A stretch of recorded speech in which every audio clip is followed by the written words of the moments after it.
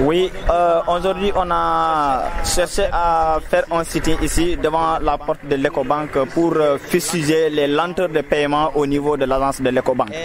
Et la direction des bourses a tenté d'accuser euh, l'Ecobank pour nous dire que le problème n'est plus maintenant à leur niveau. Eux, ils ont fait ce qu'ils ont à faire. Le problème de paiement maintenant, c'est l'Ecobank qui refuse de payer.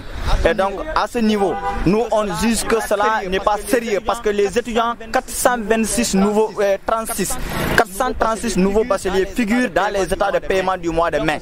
Donc, si toutefois que l'étudiant se trouve sur les états, il n'y a pas de, a pas de quoi que l'étudiant ne doit pas percevoir son argent. L'Ecobank est en train de faire du n'importe quoi avec les étudiants. Les étudiants de la première année qui doivent percevoir leur rappel, on leur donne uniquement le mois de mai. Et donc, sur ce, nous interpellons l'État. Nous interpellons toujours l'État parce que si vous voyez que l'Ecobank est toujours en train de se camper sur ses positions, c'est parce qu'il y a quelque chose de louche entre l'Ecobank et l'État.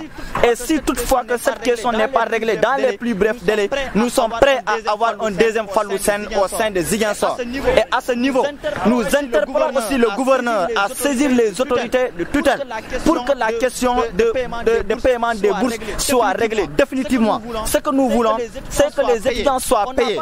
On n'a pas besoin d'explications ni de la part de l'État, ni de la part de l'Ecobank, parce que les étudiants figurent sur les États. Les listes qui sont avec l'Ecobank, c'est les mêmes qui sont avec nous les étudiants que nous avons eu au niveau de la direction des bourses. Donc les étudiants n'ont pas de quoi à ne pas être payés. Donc comme on l'avait dit tantôt, nous interpellons ces autorités à prendre leur dispositif si toutefois que ces questions ne sont pas résolues dans les plus brefs délais. Nous sommes, nous sommes prêts à faire face aux, aux forces de l'ordre, quelles que soient les situations. Aujourd'hui, ce que nous sommes en train de faire, c'est peu pour vous dire. On a un plan d'action beaucoup plus pire que cela dans les semaines à venir. Si toutefois que les étudiants ne parviennent pas à percevoir, on met en garde le directeur de l'écobank. On met en garde le directeur de l'écobank et on nous met en garde aussi l'État. C'est-à-dire si l'État ne réagit pas et demandant à l'écobank de payer les étudiants, nous sommes prêts, comme je l'avais dit, à faire ici un deuxième Fallou parce qu'on est prêt à faire face aux forces de l'ordre.